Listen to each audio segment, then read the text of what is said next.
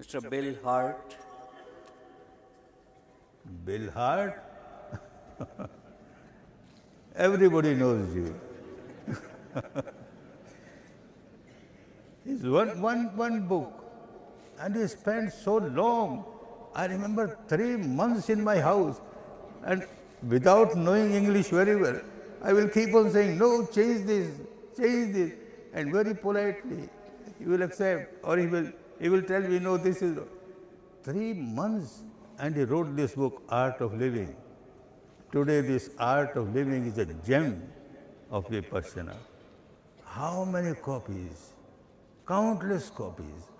And not only in English, but in so many languages.